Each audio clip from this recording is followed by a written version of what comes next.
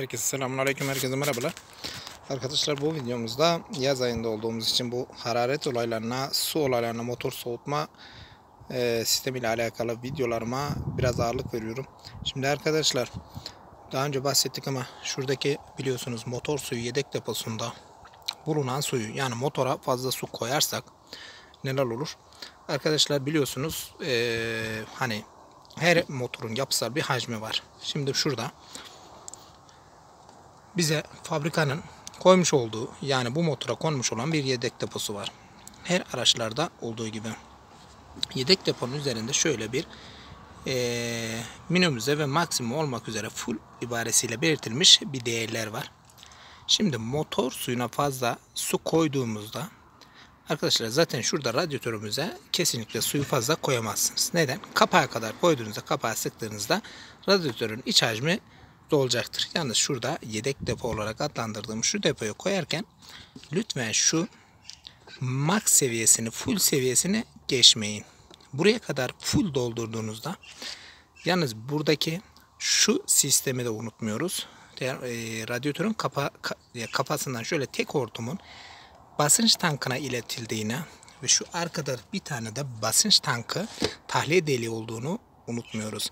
Yani tek giriş sistemine sahip çıkarken de herhangi bir çıkışa sahip olmayan bir e, soğutma sistemi. Siz buraya fazla su koyduğunuzda şu kapağın 1.1'i açtıktan sonra mevcut suyun içinden basınç fazlalığından dolayı şu depoya göndereceğini unutmuyoruz. Eğer bu depo dolduğu dolu ise farz edelim kapağa kadar doldurdunuz.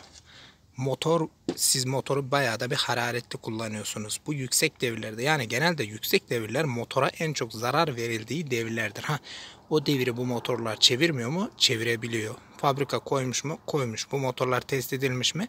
Edilmiş. Lakin yüksek devir motor ömrünü yıprattığı gibi parçaları da yıpratıyor. Bazı tehlikeleri de ortaya çıkarabiliyor. Örnek veriyorum ekranda bir kırmızı redline çizgimiz vardır. Dip gaz verildiğinde motorun en sona ulaşabileceği motor devirlerini ibaresiyle beraber tehlikeli devirlerdir kırmızı işaretler. Şimdi buradaki arkadaşlar suyu kapağına kadar doldurduğunuzda olay ki illaki açacak. Bu 1.1'i motor suyu basınca aşacaktır. Ayrıyeten antifrize göre motordaki antifrizin yoğunluğuna göre de değişir.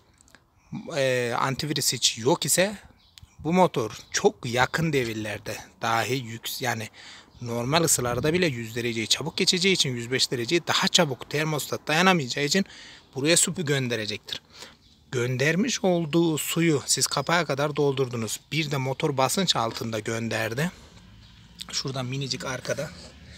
Şurada arkasında bir tane deliğimiz var. Basınç tahliye deliği. Oradan atamazsa, bu sıkışırsa ne yapacak?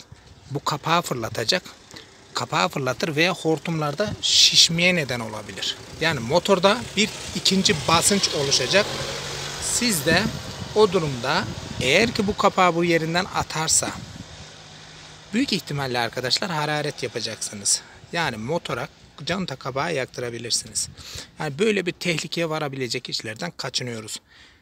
Kesinlikle max seviyesini geçmiyoruz. İçinde max seviyesinden su varsa alıyoruz ve kapağa kadar doldurmuyoruz. Buraya kesinlikle bu bidonun yarısını geçirmiyoruz. Aklınıza bulunsun. Bütün araçlar için geçerlidir. Yedek depo tank kesinlikle full ağzına kadar doldurulmaz. Yani siz doldurulduğunu görürsünüz. Bilen olur bilmeyen olur. Biri doldurur o suyu almalısınız. Özellikle bu araba için kastediyorum. Çok ama çok tehlikeli bir davranıştır.